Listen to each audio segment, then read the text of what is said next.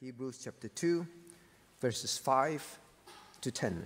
Reading For unto the angels hath he not put in subjection the world to come, whereof we speak. But one in certain place testified, saying, What is man that thou art mindful of him? Or the Son of Man that thou visitest him? Thou madest him a little lower than the angels. Thou crownest him with glory and honor, and didst set him over the works of thy hands. Thou hast put all things in subjection under his feet. For in that he put all in subjection under him, he left nothing that is not put under him. But now we see not yet all things put under him. But we see Jesus who was made a little lower than the angels for the suffering of death, crowned with glory and honor, and he, by the grace of God, should taste death for every man. For it became him, for whom are all things, and by whom are all things, in bringing many sons into glory, to make the captain of their salvation perfect through sufferings May God bless the reading of His word. Let's all turn to God in prayer. Let us pray. Eternal God, our gracious, loving Heavenly Father, truly as we have sung, oh, the love that sought us, oh, the blood that bought us, oh, the grace that brought us back to the fold. We bow and we say these words I wonder what you saw in us. Truly, there is nothing it is purely thy infinite love, thy amazing grace alone that came to seek us out and to save us. We come tonight seeking afresh the cleansing and washing in the blood of our Savior, asking, O God, that thou be merciful to wash away every stain. Lord, that our sins will be removed as far as the east is from the west, even from us now.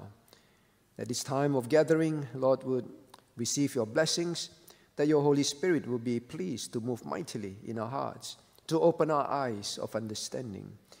Oh, Father, may your Holy Spirit be sent tonight to speak to every child of yours in this house of thine, that as we learn your word, we may desire to see our Savior more clearly, to love him more dearly, and to follow after him more closely. This is our desire, O God, tonight. We plead again that you remove the tiredness and the, of the labor of the day at home, at work, in school. And Lord, may you grant to us the joy of studying your word and help us to concentrate that we may understand your word, Lord, in a way that is intended for us to know.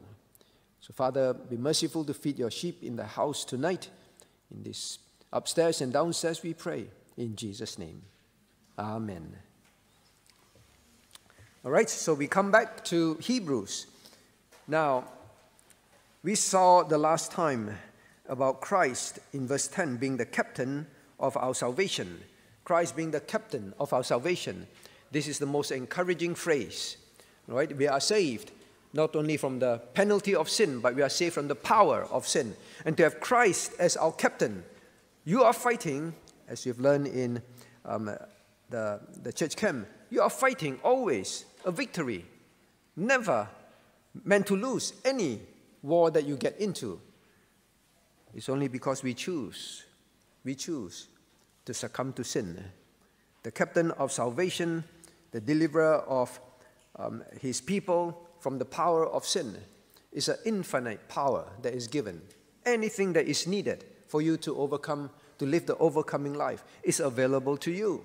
So, Christian, when we read this phrase, the Christ, the captain of our salvation, oh, it must encourage us to embark on a life, on a life of living victoriously for Him and nothing else. No more excuses. He is the captain of our salvation. Now, tonight we want to consider this particular um, aspect um, in these verses 5 to 10 and that is the repeated mention, all right, the repeated mention of certain things. Look at verse 5. Now, angels are not put, uh, things are not put under the, um, um, under the subjection of angels. But look at verse 6. They say, What is man that thou art mindful of him? Instead, verse 7 tells us, Well, it is man that God crowns with glory and honor. And look at verse 7 again, and set him over the works of thy hands. So look at verse 8 Thou hast put all things in subjection under his feet. So, this constant um, trend of thought, what is it about? What must we learn? Constantly talking about eh, things of the world are not put under subjection to the angels, but put under the subjection of man. And that is why you crown him with honor and you with glory. Now, he doesn't stop there. He doesn't stop there. Now, look at verse 8. Oh, sorry, verse 9. But we see Jesus, who was made a little lower than angels. Here we go again about being little lower than angels. And then this phrase comes again in verse 9 crowned with glory and honor. Crowned with glory and honor. Look at verse 7. He's quoting Psalm 8 Thou crownest him with glory and honor.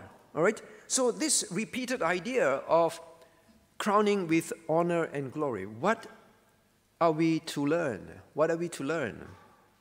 The title tonight is Man Crowned with Glory and Honor. Man Crowned with Glory and Honor. Now, do not forget the theme Christ is the supreme prophet. And Christ, to be the supreme prophet, he was, he came in the form of man. And in his human nature, he was supreme, all right? Also over angels because they will begin to think, well, if he's man, then he's not so supreme as a prophet, right? Angels are better than men. Angels know more things about heaven than man. So if Christ is man, then, well, he's not much of a prophet. So here is the argument that the apostle wants to the people to realize. Well, yes, Christ came as man, but he is still the supreme prophet, far above angels in his prophesying, all right, which is covered in chapter 2, the, the first part. Christ's prophecies, Christ's prophesying is far superior. The angels that you take, uh, that you pay attention to, right? Now, but here, he begins to talk about man being crowned with honor and glory. Now, how is this all tied together with Christ being supreme in his humanity, Christ being supreme as a man. What is the link and what is it for what is there for us to learn? Now, first and foremost, look at verse 6. What is man that thou art mindful of him, and the Son of Man that thou, that thou visitest him? Then he says, Thou hast made him a little lower than the angels, thou crownest him with glory and honor. Now, and then he says in verse 8, now, for in that he put all things all in subjection under him, he left nothing that is not put under him. But now, but now means now, we are living as human beings living, still alive. Now we see not yet all things put under him. What is he saying? He said, Well, you know, you know the Bible, you know the scriptures. The Old Testament says that, well, God crowns man a little lower than the angels. But say, how is it so? So some of the Jews may ask, how is it so? We don't see that. So he replies in verse in verse 9. Oh, sorry, in verse in verse 8. But now we see not yet all things under him. So while we are living on earth, man, the, the believer, man, we do not see this crowning with glory and honor fully yet. We don't see that yet. All right? But look at verse 9. But we see Jesus. But when it comes to Christ, the man, Christ the man, you see him now crowned with glory and honor. Not us, not us, but Christ, we see him crowned with glory and honor. Now, dear hearers, one day, if you're a true believer, you will be crowned with honor and glory. Do you realize that?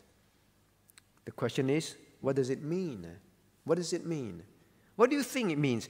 Like, for example, um, very often when believers pass away, right, um, go to be with the Lord, uh, for example, we'll be attending uh, Jason's father's funeral uh, to Monday night, right, vigil service on Monday night, and Wednesday, the burial service. Well, you will see in program booklets saying, well, gone home to be in glory, right? Or something like that. Very often at funerals, you see that.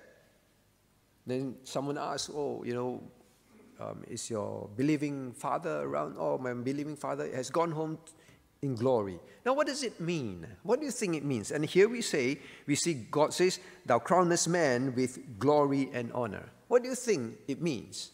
Maybe I try. Um, Yanwei, what do you think it means? Man crowned with glory and honor. When people die, you say, gone home to be in glory.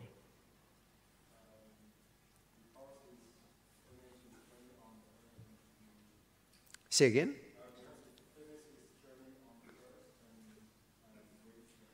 Finish journey on earth and be with the Lord. Why is it called in glory?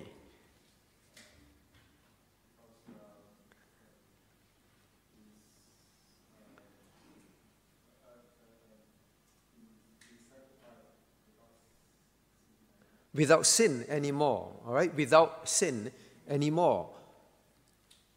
Now, when we say it is glorious to be perfect, we are saying we, we are no more with sin. We reflect the glory of God perfectly.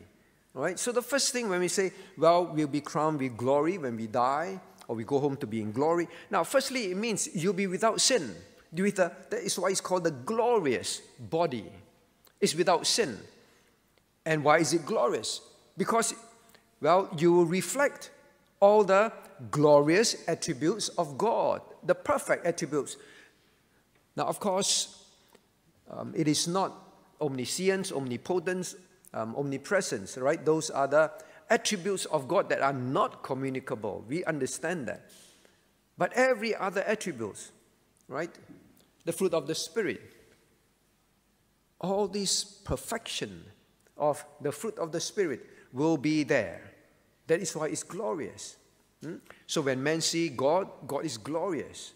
Those are the attributes, right, that they will see in us. So when you say we want to reflect Christ, we want to glorify God, what are we saying? We want to live a life that shows man what God is, who God is, how God thinks, how God works, because those are the glorious attributes of God. So that's why we must be Christ like. We must walk as Christ walked in order to glorify God. So that's the first part sinlessness. That is why it's glorious. We now have all, this, all the perfect attributes that God intended when He created Adam and Eve. He intended for Adam and Eve, man, to have that. But man chose to sin, right? So it's fallen. It is not glorious, it's fallen. Fallen. Now, so that's the first one. Um, so it's perfection, perfection, sinless perfection. Now, what else does it mean? Well, we know for sure it does not mean we will, we will be glorious like God, right? So we cannot say, well, um, God will crown us with glory, then is we are crowned with the glory of the omniscient, omnipotent, omnipresent God, right? His infinite uh, power. It's not that glory. So it's always a reflected glory, perfection. Now, what do you think is the second state? The second state. Maybe I try someone else. Um, Benedict, what do you think is the second state?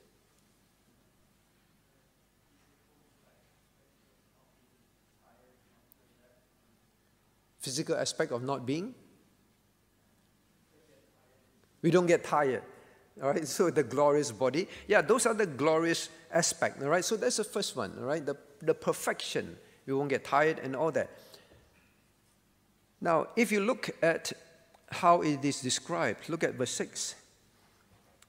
But in a certain place, he said, What is man that thou art mindful of him, or the Son of Man that thou visitest him? All right? And then after that, he says, Well, you crown him with glory and honor. Now, when we studied this, we studied about mindful, all right? Visit. Do you remember what it means? Mindful is God has a certain, um, has thoughts that are planned, purposeful thoughts, um, wonderful, good thoughts towards man, mindful. That, and then this visit, this visit is not just, well, visit with no purpose. Visit with a purpose to bless, all right? So God has wonderful good intentions towards man. He cares.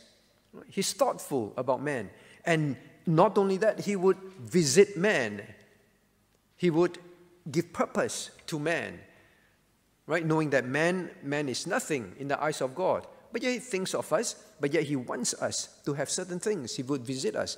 And to visit would mean that, well, God, God, we are, we are, we are graced with the presence of God, right? The presence of God, being in the presence of God. So God not only thinks about man, but God will visit man. Well, for example, I think the most wonderful time for mankind was when Christ was on earth, God with man, Emmanuel. Right? The name itself reminds us that Emmanuel, God with man, that is how God graced us with his presence. So, the second thing about being crowned with glory, it is actually to be in the presence of the living God.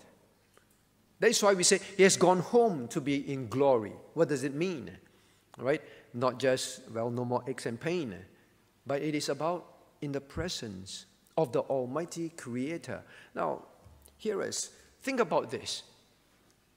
When you are invited when you are invited to attend um, the, some ceremony of um, the, the most powerful man on earth, for example, right? Well, for example, the, the, the, the wedding um, of, of some royalties.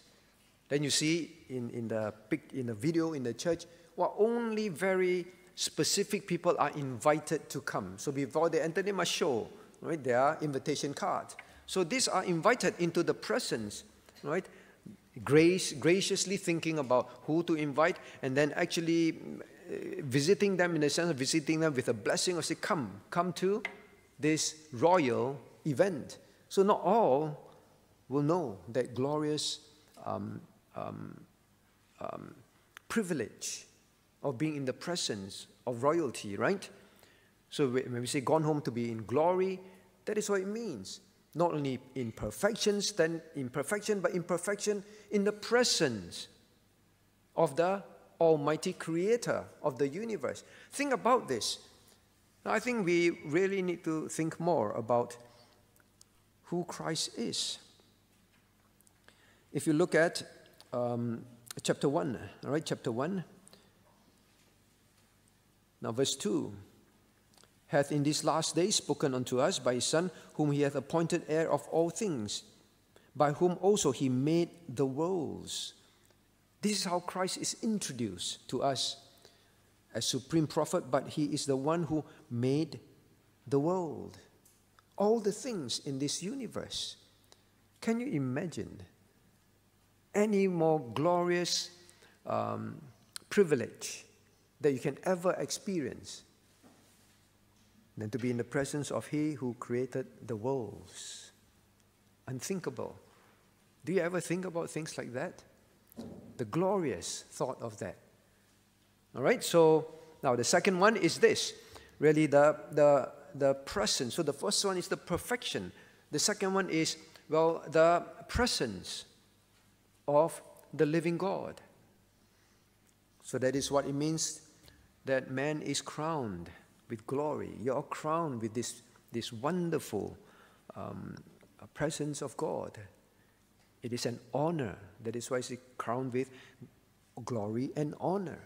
Right? The glorious body. The honor of being in the presence of God. That is what it is. Do you treasure such a, such a thing one day? Very often people say, I, I do not want to die because there are many places that I still I have not seen.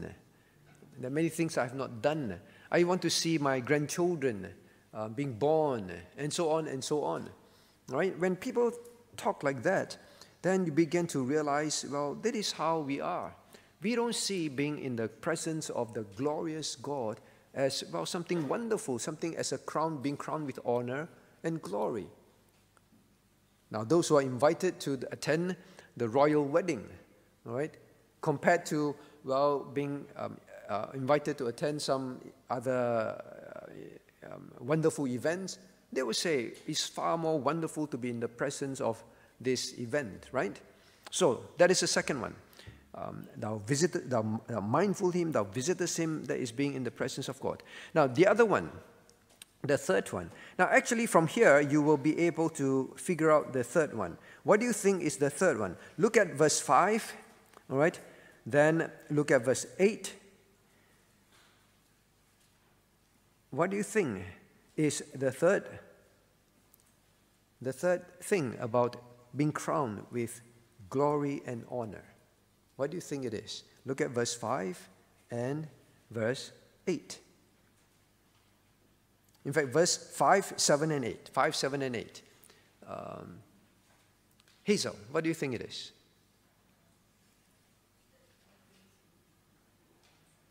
Very good. That all things will be put under the subjection of men. Look at verse 5. For unto the angels hath he not put in subjection the world to come, whereof we speak. He said, you know, even in the world to come, and we're going to look at some verses afterwards. The world to come, Christian, do you realize in the world to come means in heaven, in future, in, through eternity, the future world, right? You're sitting there now. In the future world, things will be put under your subjection, not even the angels. You will rule angels instead. For now, temporarily a little lower than them. But all things will be put under your subjection. When God created man, He did not say, or created everything in this world. He did not say, angels, from now onwards, you rule. Angels would rule better than us, right? They can fly. We cannot. Man, Adam and Eve could not. They are tireless, right? Adam and Eve, still man, still human. But God did not put the running, the dominion of, of, of the world to angels, but He gave it to man. The mindfulness of thought of God towards man, what that is what an honor. All right? Now look at verse, verse um, 7. Then He says, Yes, for now made a little lower than angels, but say, You will crown him with glory and honor, and did set him over the works of thine hand. Things that God made. God intends that man will rule. And then look at verse, um, verse 9, all right? Oh, sorry, verse 8. And that's it, right? So um, 5, 7, and 8. Now it becomes very clear. In fact, if you turn to these quotations of Psalm, Psalm chapter 8, all right, let's turn to Psalm chapter 8. You see it more clearly, clearly. Psalm chapter 8. So the apostle is quoting Psalm chapter 8, all right? Now let's read verses 3, all right, to 9, 3 to 9. Psalm 8, verses 3 to 9. When I consider thy heavens, the work of thy fingers, the moon and the stars, which thou hast ordained, what is man that thou art mindful of him, and the Son of Man that thou visitest him? For thou hast made him a little lower than the angels, and hast crowned him with glory and honor. Thou madest him to have dominion over the works of thy hands. Thou hast put all things under his feet all sheep and oxen, yea, and the beasts of the field, and the fowl of the air, and the fish of the sea, and whatsoever passeth through the paths of the seas. O Lord, our Lord, how excellent is the name in all the earth. Now he is quoting Psalm 8, and you will notice the same phrases, almost identical. And then look how he describes. After verse 5, he said, You crown him with honor and glory. And he said, Thou madest him to have dominion over the works of thy hand and put all things under his feet. Dominion, dominion.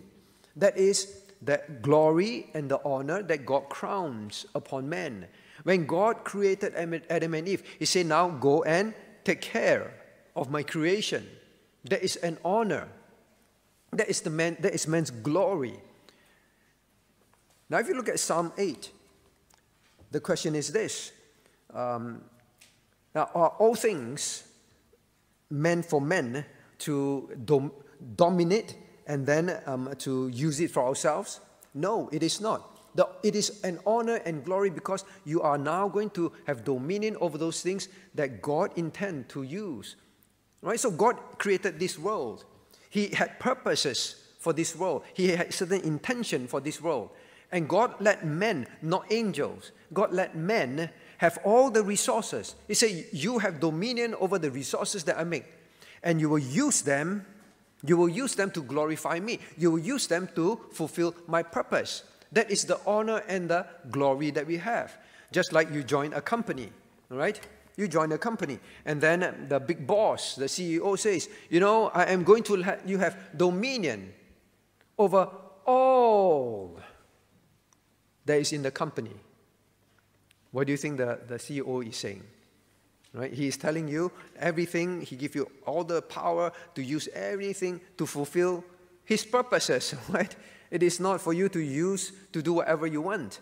So when God says he crowned men with honor and glory, now dominion brings honor and glory, right? We know. If you're a ruler, you have dominion, you have honor and glory, right?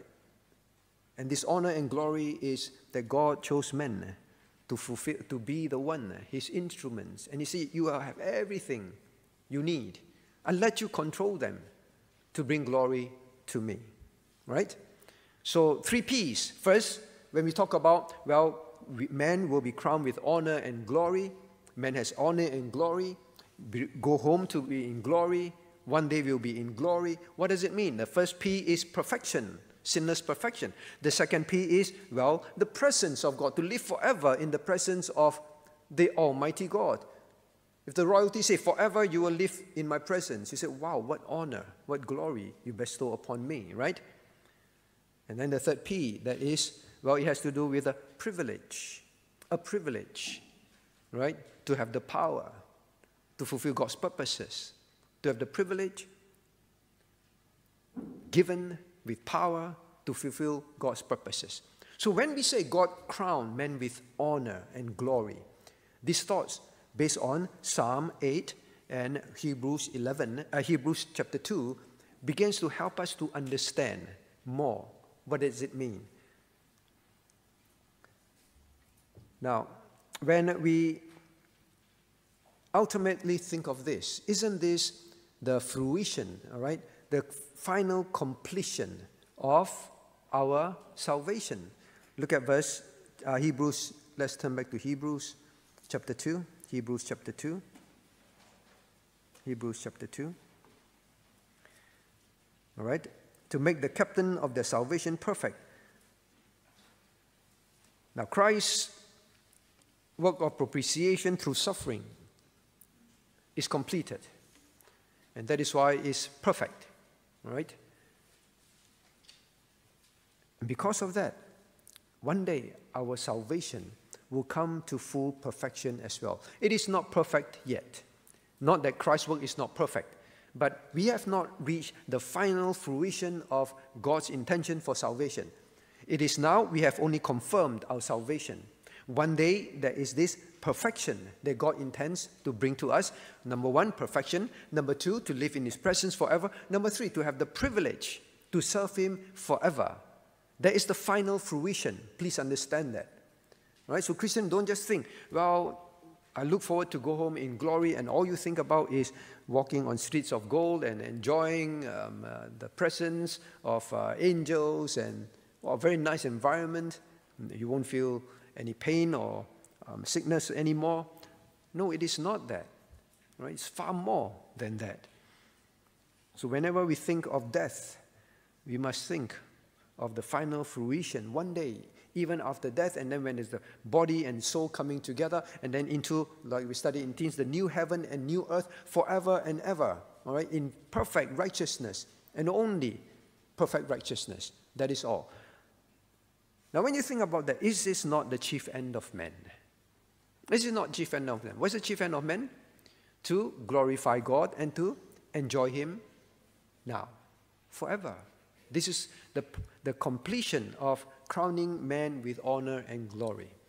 To glorify God, well, we will never, ever shame God anymore. We will only live in perfection. We will always sing praises perfectly to praise and honor Him.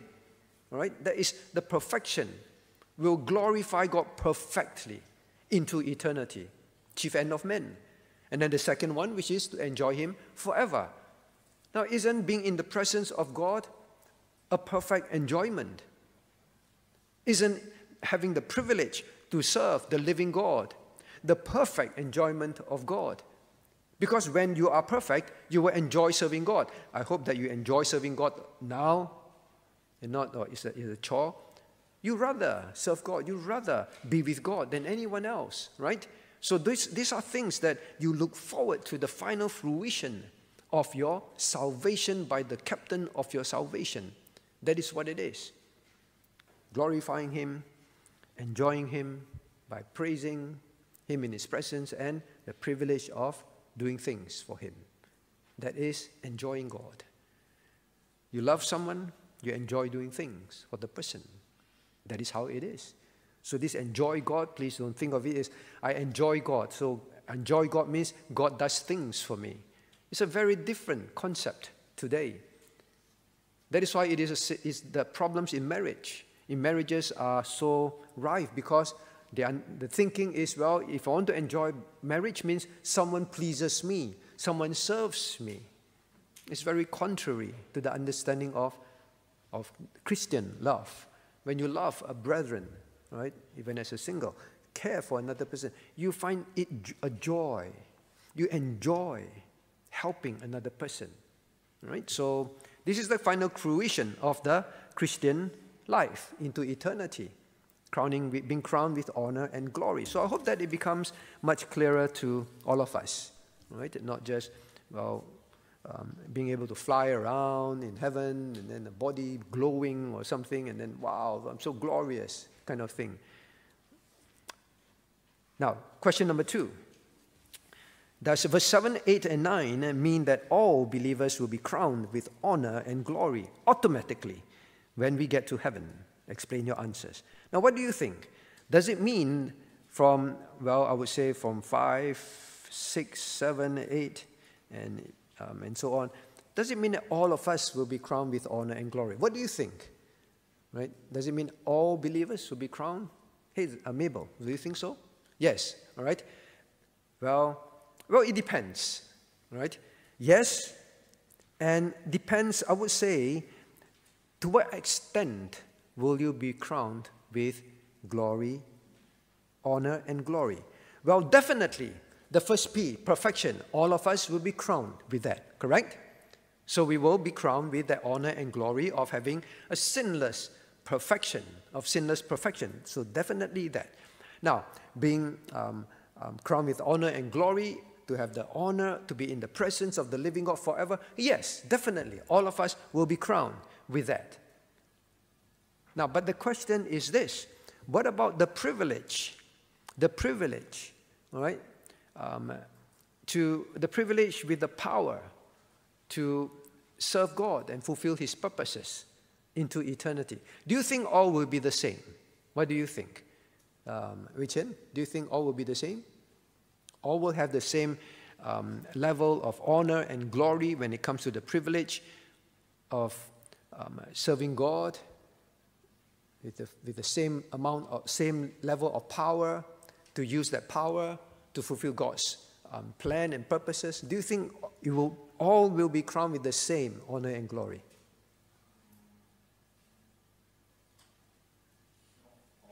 Not all.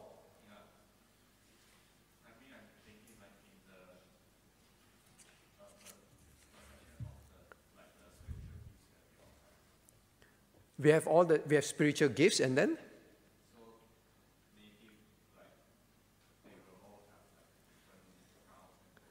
Oh, I see. So in heaven, are different crowns will be given, right?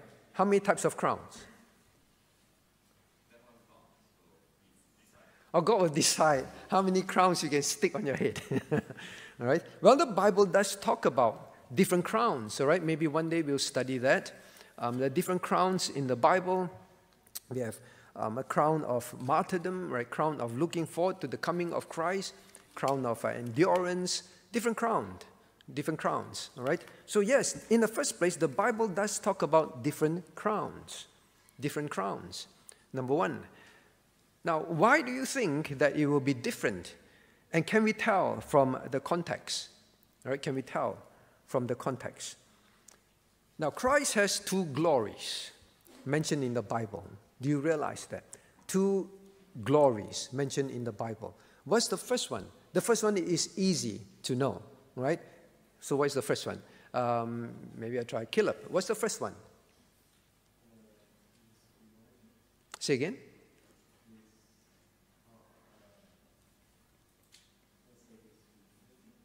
His what? His humanity. Uh, okay, so we have humanity, glory, and then what's the other one? His deity, all right? His deity. Now look at chapter, chapter 1, chapter 1. Chapter 1. Um,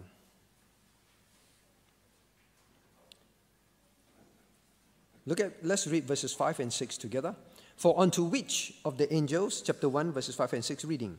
For unto which of the angels said he at any time, Thou art my son, this day have I begotten thee. And again I will be to him a father, and he shall be to me a son. And again, when he bringeth in the first begotten into the world, he saith, And let all the angels of God worship him. So this is his first glory. The angels, all the angels of God will worship Christ. Now, why must they worship him? Simple answer found in verse 5 and 6. He is God's son. When he's God's son means he is God, right? So the first one is the first glory of Christ. The first aspect is intrinsically simply because he is the Son. He is deity. He is God. He is God. Simple as that, nothing else. Now, if you turn, keep, keep your hands there, keep, your, keep, keep a bookmark in Hebrews 1. Turn to, um, let's see, turn to John 17. Right? Let's turn to John 17. John 17.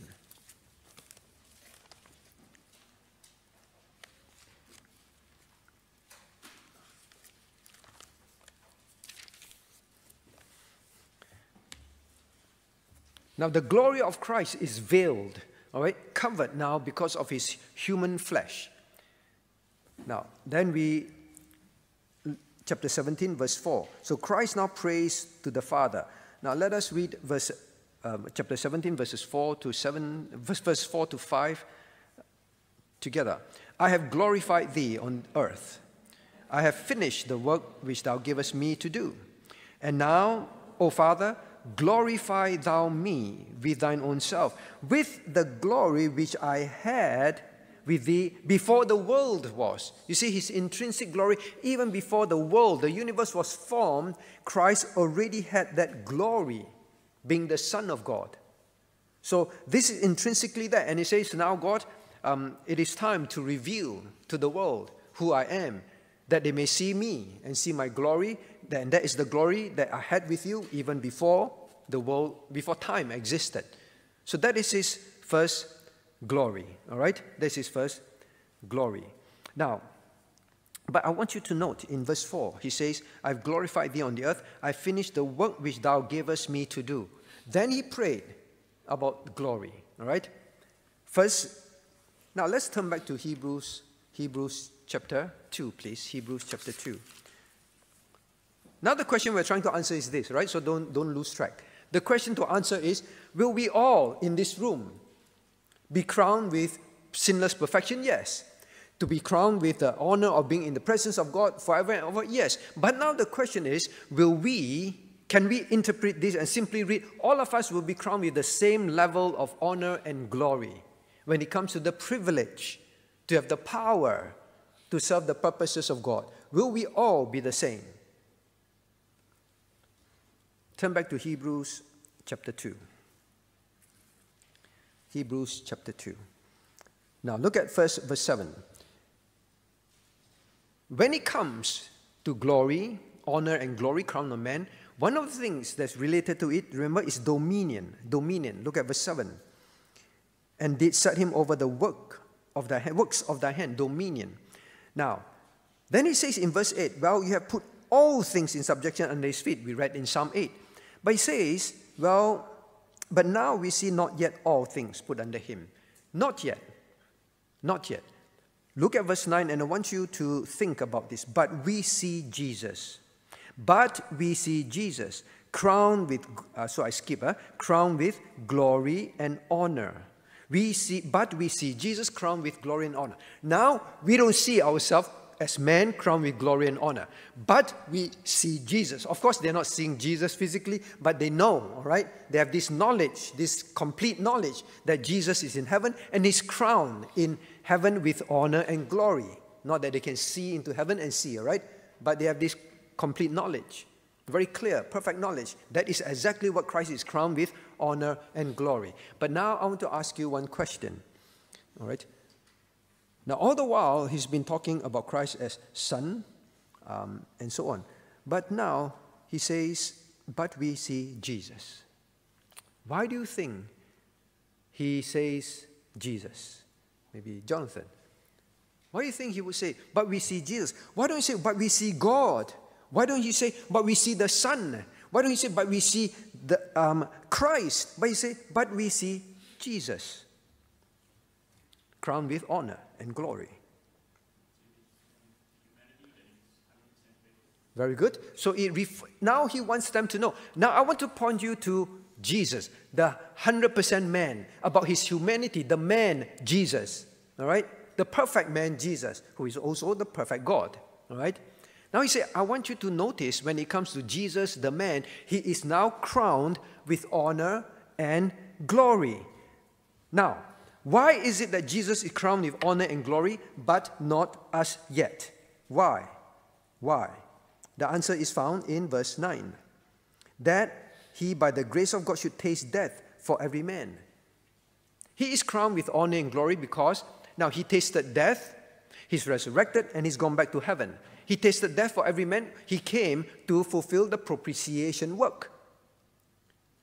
The reason why we see Jesus crowned in heaven in honor and glory as in his human body is because he has finished the propitiation work. That is why he is there, but not us. Have we finished our work on earth? Not yet. That is why we are still on earth, which is why we repeatedly say, Why are we still on earth? Because we have not finished God's intended work for us on earth. That is why we're still here. But, but we see Jesus, that man, he died, finished God's work. And look at verse, verse 10. Now, to, to what point? He was made perfect through suffering. He completed the work of salvation perfectly, completely even if it means that he must suffer immeasurably. He finished it. He finished it. Now, what am I trying to help us to learn? The reason why Christ, the man, is crowned. Remember, I say God says that well, what is man that thou mindful him, that you will crown man? Even Christ crowning of honor and glory is contingent upon him finishing the work that God intended for him to do, to finish his purpose. Please understand that. This is what the apostle wants us to realize. You want to be crowned with honor and glory completely, to the fullest, to which God wants to crown man with. You will be crowned with the perfect body, you will be crowned in His presence, the to have the honor in His presence. But please, when it comes to this one thing, your work is not finished, but Christ's work is finished. Even as man, and this is what I want to us to realize, even as God, who became man, needed to ensure that he exercised the dominion given to him to finish God's work. Then he would be crowned with honor and glory as man.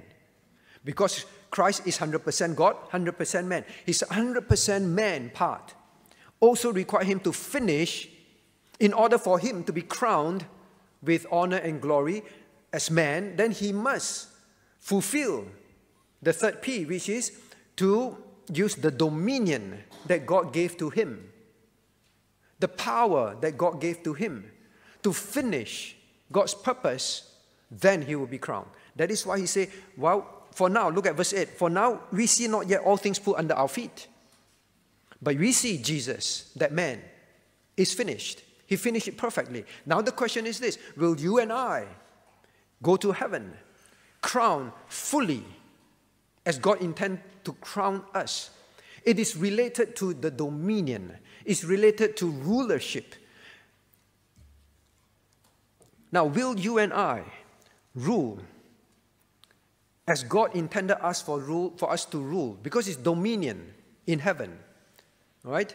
Into eternity. Will you and I have that. Now, I want you to um, realize what the Apostle Paul is, uh, if you believe it's Apostle Paul writing, determined to tell the Christian. Don't just think that you're going to heaven, you'll be automatically crowned as Christ will be crowned in the fullest extent. But you and I can be crowned to the fullest extent that God intends to crown men. In heaven, to rule, to have dominion. God's intention is for men to have dominion over angels and over other things. Now, if you turn with me to Luke chapter 19, Luke chapter 19. Oh, Luke chapter 19. Christ gave a view of heaven, a glimpse of heaven.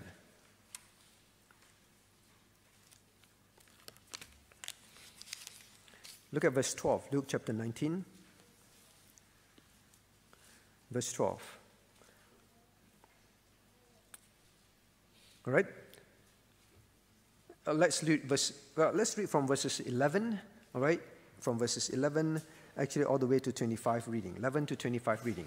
And as they heard these things, he added and spake a parable because he was nigh to Jerusalem and because they thought that the kingdom of God should immediately appear. Now, what would the kingdom of God be like? Here, God explains. Look at verse 12. A certain man, a certain noble, let's read together, 12 to 25. He said, Therefore, a certain nobleman went into a far country to receive for himself a kingdom and to return. And he called his ten servants and delivered them ten pounds, and unto them, Occupy till I come. But his citizenship, his citizens hated him and sent a message after him, saying, We will not have this man to reign over us. And it came to pass that when he was returned, having received the kingdom, they commanded the servants to be called unto him, to whom he had given the money, that he might know how much every man had gained by trading. And he came to the first, saying, Lord, thy ten pound that gained ten pounds. And he said unto him, Well done, well, thou well, thou good servant, because thou hast been faithful in very little, thou hast authority over ten cities. Now look, it's about authority, dominion, rulership. When he talks about heaven, he talks about a rulership. Now, then in verse 18, let's continue. And the second came saying, Lord, Thy pound hath gained five pounds. And he said, Likewise to him, Be thou also over five cities.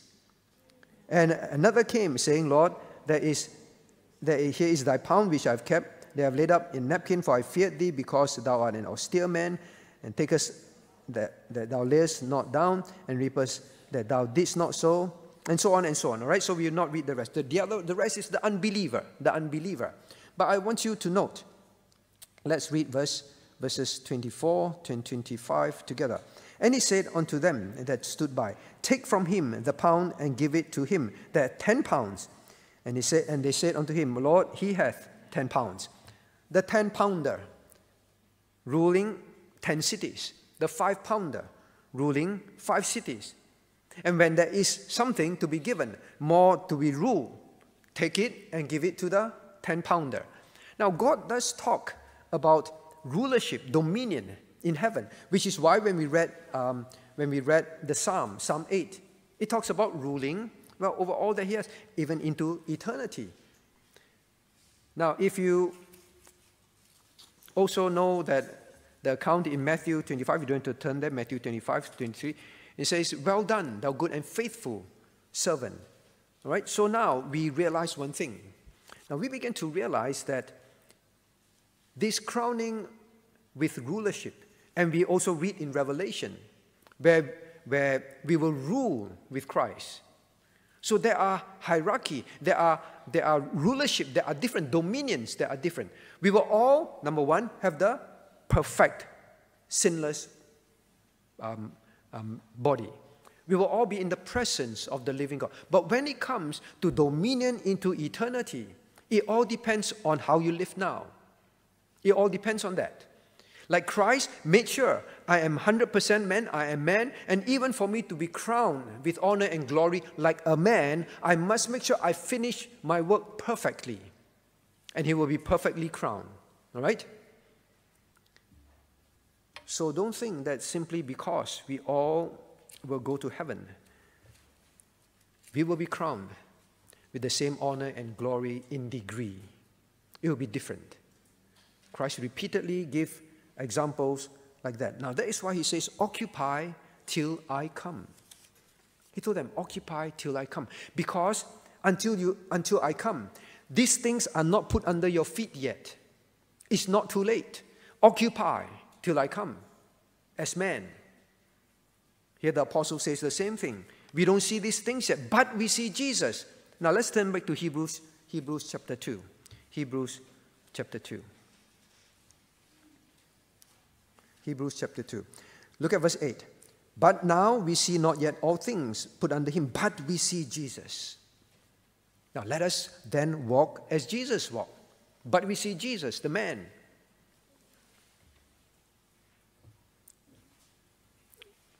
God endows us with dominion on earth now.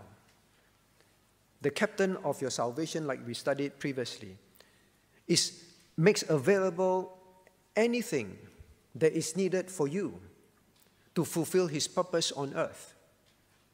Everything. You may think it is not possible to live like that, to do that, to give this up, to, to, to follow Christ this way and that way.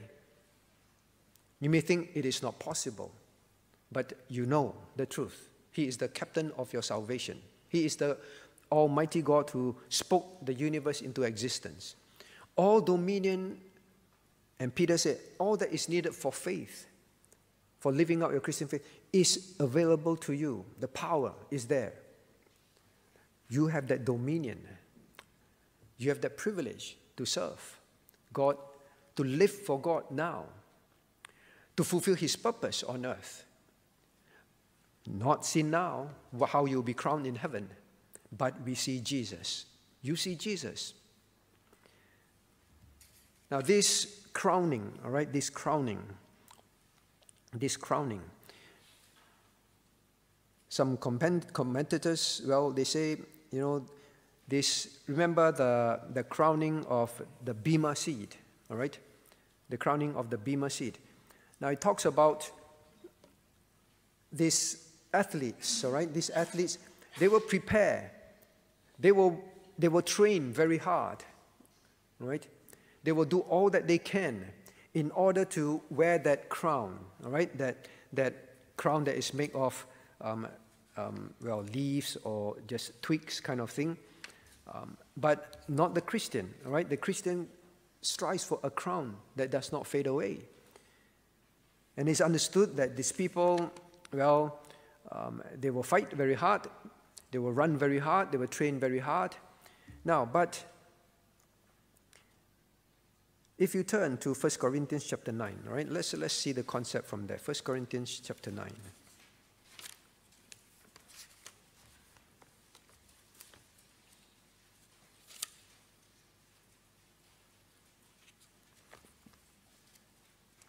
Verse 25. 1 Corinthians 9, verse 25. Um, well, maybe we should read from verses 24 um, 24 and 25 reading.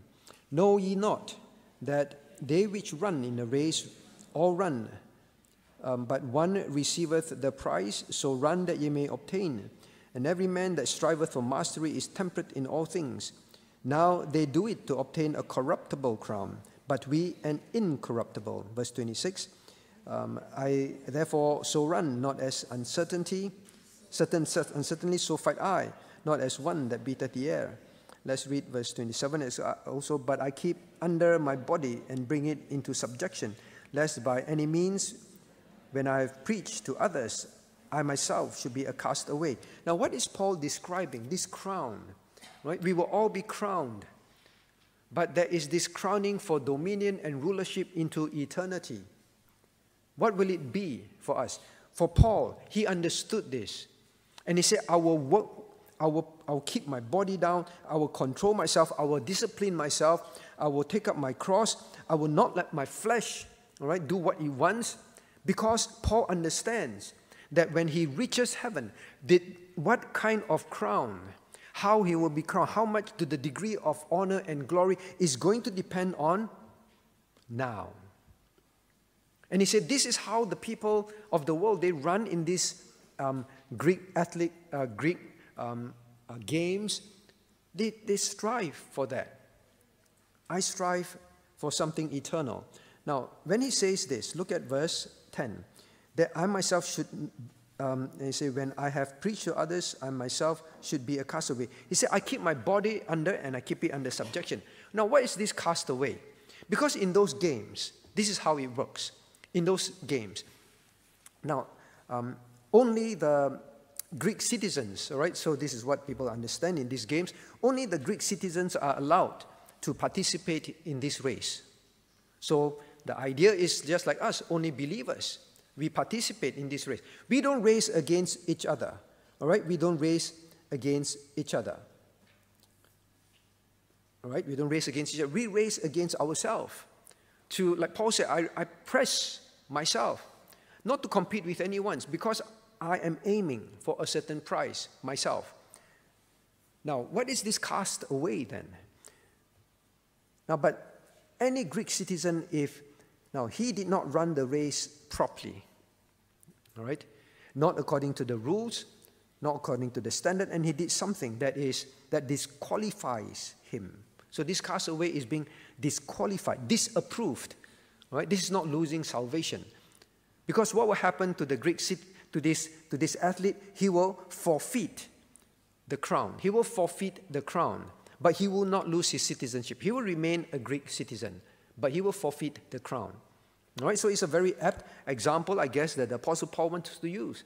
Believers, we will all have the sinless body. We will all be in the presence of God. We will not forfeit our salvation, but we can forfeit the degree of crowns, the degree of honor and glory that God intended for you. So Paul says, I want to press now. I know I'm going to heaven. I won't lose my citizenship in heaven, but I will press now. Now, we live under the delusion, and Satan wants you to think that. We're all going to heaven, we'll all be crowned. We all will have honor, we all will have glory. So, why bother? Right? Why bother? Let's just live as we wish to, do as we wish to, because after all, all of us are going to be crowned. Now, I keep sharing this example with you, and some of you may be new. So, I remember one night, late at night, a family called me up. They're no longer with us in church, a family called me up. I said, and they said, Pastor, we, our whole family have a question for you. I said, wow, it was so serious. You know, it was late at night. Um, and said, what's the question? I said, we've been discussing and we can't come to, come to a conclusion. And then they say, you know, when we all go to heaven, will it all be equal? Right? Will all of us be equal? Then I didn't want to answer. I asked, why do you ask the question? And say, um, the person say, well, you know, if all we, if you're all equal, and it should be, right? When you go to heaven, all are equal. Then, then why, why, why give up my job? Why give up my, my luxuries? Why, why give up my positions when, when these things come in my way of living for Christ, obedience? Why give this up? Because there's no difference. At least on earth, if I work very hard, well, I get promoted Right? I am somebody in this world. I get respect, I get honor, I get glory. So if all are the same, then when we get to heaven, what's the point? I may as well live for myself now. I get honor and glory now. And when I go to heaven, I still will go to heaven. All of us the same. Do not forget, you have the if you are truly saved. But I really wonder about people who think like that. But if you're truly saved, right? You have the perfect body, yes. You're truly saved. You'll be in the presence of God forever, yes. But if you are living a life that is not making use of the dominion, the things, the power that God gives to you, the gifts, the abilities, and all that, to fulfill the purpose of God, where you fulfill your own purposes, God already says, we will rule with Him into eternity. Some will rule more cities than others. It is different. Now, when we think about all this, what must we learn? That's the question, right? Must, what must we learn? Even Christ set the example as man. For me, when God says man will be crowned with honor and glory, that is my. My job is to suffer and die for, this, for to save my people. That is my job, and I will finish it. You have different jobs. You have a different will of God for your life. You too must finish it. Don't compare it with mine. It's different, right? But you have yours. Question is, are you truly fulfilling your purpose? Are you, would you rather choose to be in a place that is not God's will for you? Whatever it is, a workplace, um, a situation in life, whatever it is, would you rather choose that and deceive yourself and think, well, I will go to heaven anyway, all will be the same? God has a plan for you. Do you want to forfeit that? That is what Paul is saying. I do not want to be, well, a castaway. I don't want to be a disapproved runner. I do not want, I want Christ to say, well done.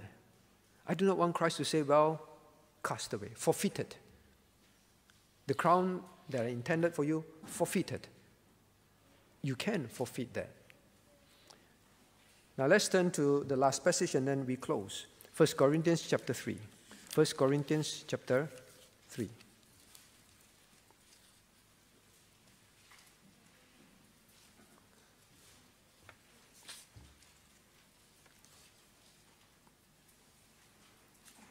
Right? Let's read from verses 12 to 15. Now, this is one of my favorite passage that I often quote to you all. Right? Let's read 12 to 15 together. Now, if any man build upon this foundation gold, silver, precious stones, wood, hay, stubble, every man's work shall be made manifest, for the day shall declare it, because it shall be revealed by fire, and the fire shall try every man's work of what sort it is. If any man's work abide, which he hath built thereupon, he shall receive a reward. If any man's work shall be burned, he shall suffer loss, but himself shall be saved, yet so as by fire. Now, here God makes it very clear. Verse 12 is about your foundation, you don't have to lay. Christ paid for you, for your sins, and sinless perfection in the living in the presence of God. That foundation is laid already. But now, every man's work while on earth. Will, what kind of honor and glory will you be crowned with? What's the degree? It's going to depend on what you do on earth. Look at verse 15. If any man's work be burned, he shall suffer loss, but he himself shall be saved. Yes, you'll be saved, but you will suffer loss. Please take off the note, note, note of the word suffer and loss. Put together for eternity. Suffer loss. You won't lose your soul, yes, if you're truly saved. Suffer loss. Christ had two glories. The first one is his intrinsic one, as Son of God. In chapter 2 of Hebrews, you see the second glory, as man crowned with honor and glory because, because he made sure that he fulfilled and finished his task as captain of our salvation and finished it perfectly. That is why now he is crowned with glory and honor. Paul says it, the, the apostles make it very clearly, says it very clearly. But we see Jesus, the man, crowned. That is his second aspect of his glory. That aspect we as men can have, but depends on how you live. You cannot have the first aspect of God's glory, being God. But the second aspect, but we see Jesus. But will you see yourself crowned to the degree that God intends to crown you. When we come back, we answer the questions like, well, isn't it unfair? Because some people get saved later, right? Like Jason's father got saved just a few months before the Lord took him home. What's the opportunity to serve? Then less crown, less glory. Is it fair? Right? Should we serve for honor and glory? We will answer those questions, God willing, when we return. Now let us all pray. What do we have here? Top five reasons why church dropouts, uh, what church dropouts say, why they stop attending church. Now please remember 66% of, well, I take the American view, um, they're the most readily available results. They stop attending church at least a year after turning 18. So from